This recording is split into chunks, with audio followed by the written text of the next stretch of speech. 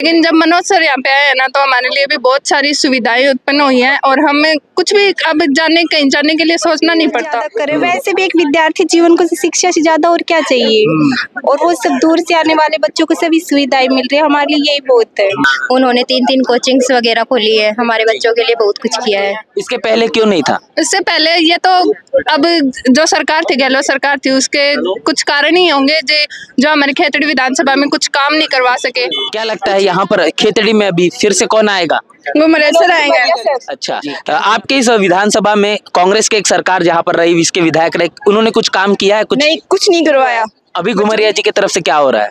यहाँ पे तीन तीन कोचिंग खुल रखी हैं, खेतड़ी के अंदर और हम सब बच्चे वहाँ पे अच्छे से पढ़ाई कर रहे हैं। राजस्थान के अंदर में हम लोग हैं, जहाँ पर खेतड़ी विधानसभा में बहुजन समाज पार्टी के राष्ट्रीय अध्यक्ष बहन मायावती की यहाँ पर एक बड़ी रैली हुई। यहाँ पर खेतड़ी विधानसभा में जिस प्रकार मनोज गुमरिया जो प्रत्याशी है, यहाँ पर आप मेरे पीछे देख पा रहे हैं, तमाम जो महिला वर्ग है, तमाम जो बच्चियाँ हैं, लड़कियाँ हैं, एजुकेशन करने वाली है, नीली साड़ियों में है, तमाम तरीके से बाबा साहब के और बहुजन समाज पार्टी गमछों और तमाम टोपियों के अंदर में है। जानेंगे, समझेंगे बातचीत करने की कोशिश करेंगे? क्या कुछ इनका कहना है क्या कहना चाहेंगे? क्या नाम है बताइए? देविश। कहाँ से है आप लोग? खेतड़ी से। क्या कारण है यहाँ पर इस कार्यक्रम में आना मनोज घुमरिया के समर्थन में आना? घुमरिया जी सर के लिए ही आए हैं। जी क्या कारण मानते क्या पढ़ाई करे वो बताइए पहले। एसएससी की तैयारी कर रहे हैं। अच्छा आपके इस विधानसभा में कांग्रेस के एक सरकार जहाँ पर रही इसके विधायक रहे उन्होंने कुछ काम किया है कुछ? नहीं कुछ नहीं करवाया। बच्चों के लिए कुछ नहीं करवाया। अभी घुमरिया जी की तरफ़ से क्या हो रहा है? यहाँ पे तीन तीन कोचिंग खुल रखी हैं खेतड़ी के अंदर और हम सब बच्चे वहाँ पे अच्छे से पढ़ाई कर रहे हैं। कितने समय से खुली हुई? डेढ़ साल डेढ़ साल हो गया। जी। डेढ़ साल से हो गया। तो क्या लगता है अब घुमरिया जी अगर विधायक बन जाते हैं तो ये जो तीन जो आपकी कोचिंग खुली कितना और बढ़ सकती है? ये और भी ज़्यादा बढ़ेंगी और यहाँ पे पीटीआई कोचिंग के लिए भी बोल रखा है। हॉस्टल छात्रावास लड़कियों के लिए बहुत सारी सुविधाओं के लिए बोल रखा है। तो यहाँ पर है जो बच्चियों को लेकर लड़कियों को लेकर तमाम जो वारदातें देखने को मिलती है तो मैं आपको जो हिफाजत है सुरक्षा महसूस कर रही है अभी खेतड़ी के अंदर में? हाँ जी सर। जब से मनोज सर आए ना हम लोग लड़कियाँ है ना सेफ़ बिल्कुल सुरक्षित महसूस करने लग गई हैं। इसके पहले क्यों नहीं था? इससे पहले ये तो अब जो सरकार थी गहलोत सरकार थी उसके कुछ कारण ही होंगे जो जो हमारे खेतड़ी विधानसभा में कुछ काम नहीं करवा सके। कुछ भी काम नहीं हुआ है हमारे लिए तो आज तक आज तक ना कभी हुआ है और अगर यही सरकार है ना तो कभी होगा भी नहीं। लेकिन जब मनोज सर यहाँ पे आए हैं ना तो हमारे लिए भी बहुत सारी सुविधाएँ उत्पन्न हुई हैं और हमें कुछ भी अब जाने कहीं जाने के लिए सोचना नहीं पड़ता। हम्म। क्या लगता है यहाँ पर खेतड़ी में अभी फिर से कौन आएगा? वो मरेज सर आएँगे जी क्या नाम है आपका? पूनम क्या पढ़ते हैं? दिल्ली पुलिस की तैयारी कर अच्छा दिल्ली पुलिस की तैयारी कर रहे हैं। कितनी सुरक्षा महसूस कर रहे हैं राजस्थान में? हम तो बहुत ज़्यादा कर रहे हैं। वैसे भी एक विद्यार्थी जीवन को शिक्षा से ज़्यादा और क्या चाहिए?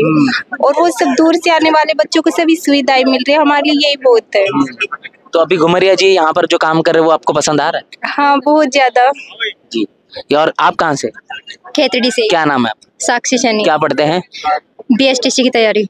क्या लगता है आगे जो जिस तरीके से कांग्रेस की सरकार चल रही है रोज़गार की गारंटी दे रही है क्या मतलब कांग्रेस की सरकार में रोज़गार मिलेगा? नहीं घुमरिया सर रहेंगे ना तो सब कुछ मिलेगा वरना अच्छा बसपा की सरकार चाहते राजस्थान में?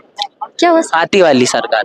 हाथी वाली सरकार के लिए मैं बहुत कुछ कहना चाहूँगी। उन्होंने शिक्षा के प्रसार में बहुत कुछ सिखाया है हमें। उन्होंने तीन तीन कोचिंग्स वगैरह खोली है। हमारे बच्चों के लिए बहुत कुछ किया है।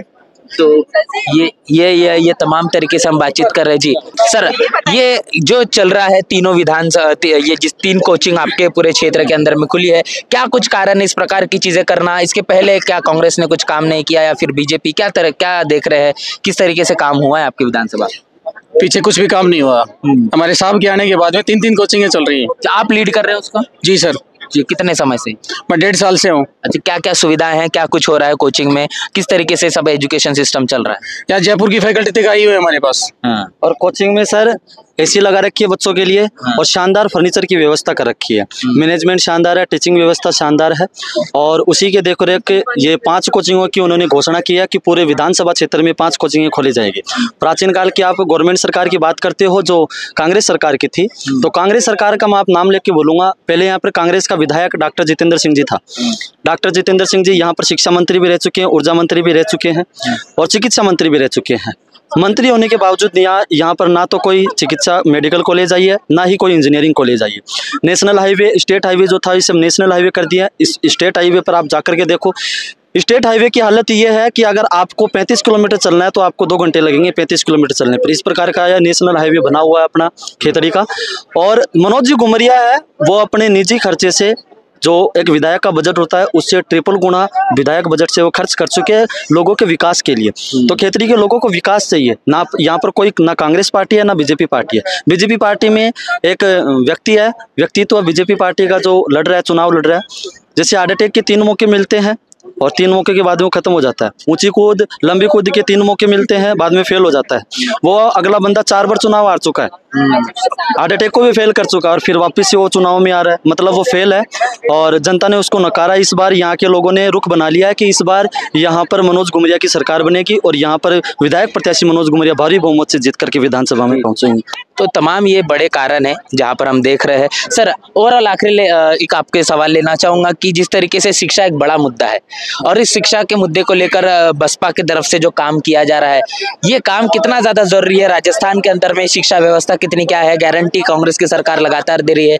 तो अब क्या उम्मीद है कांग्रेस से या फिर बसपा से तमाम बाकी दूसरी पार्टी को हर क्षेत्र में एक शिक्षा का हब होना चाहिए। शिक्षा एजुकेशन है। खेतड़ी क्षेत्र में जो विधानसभा जितने भी जो विधायक बने हैं वो शिक्षा के क्षेत्र में इतने जागरूक नहीं थे जो का, काफ़ी बच्चों को शिक्षित नहीं कर पाए। आज बच्चे कितने जयपुर है सिक्कर वगैरह जाते हैं लेकिन इतने वो हो सकते हैं कि उनकी आर्थिक स्थिति कमज़ोर हो। लेकिन ये सबसे बड़ा, बहुत ही बुनियादी ये कामयाबी है मनोज सर की, जो एक शिक्षा के हब में खेतड़ी के रूप में परिवर्तन करना चाह, करना चाहते हैं।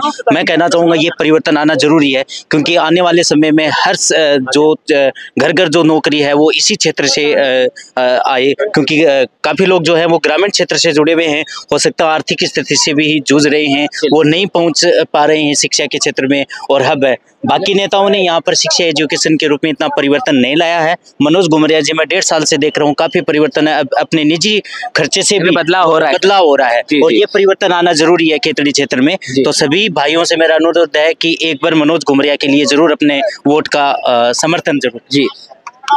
तो एक बड़ी अपील है और ये अपील कहने के लगातार तमाम लोग कर रहे हैं कि कैसा एक बड़ा परिवर्तन, खासतौर पर खेतड़ विधानसभा के अंदर में होना चाहिए, राजस्थान के अंदर में, जो कहीं ना कहीं कांग्रेस के माध्यम से जो बदलाव होना चाहिए था, जो बदलाव नहीं हो पाया है और इसीलिए अब बसपा से कहने की बड़ी उम्मीद है और इसी उम्मीद के चलते लगातार हमने जो बातचीत की है, वो बातचीत करने की कोशिश की है, तमाम जो बच्चियाँ है, जो लड़कियाँ हैं, उनसे चर्चा करने की कोशिश की है, उनके तमाम जो कोचिंग चलाने वाले जो सर है, उनके तरफ़ से तमाम जो चर्चा हमने की है तो यहाँ से जो चीज़ें निकल कर आई है तो आप कल्पना करिए कि अगर बसपा से विधायक यहाँ से बन जाते हैं तो क्या कुछ यहाँ पर खेदेड़ विधानसभा के अंदर में विकास के तौर पर होगा? पूरी बातचीत को लेकर क्या आपकी राय प्रतिक्रिया प्रतिक्रिया लेकर ज़रूर बताए। बने रहना एहसान चौपाल के साथ, मिलते नए वीडियो में। तब तक के लिए जय भीम, जय भारत। बहुजन विचारधारा को घर घर तक पहुँचाने के लिए हमारे यूट्यूब चैनल को सब्सक्राइब करें, लाइक करें, कमेंट करें, शेयर करें और बेल आइकन की घंटी दबाना ना भूलें।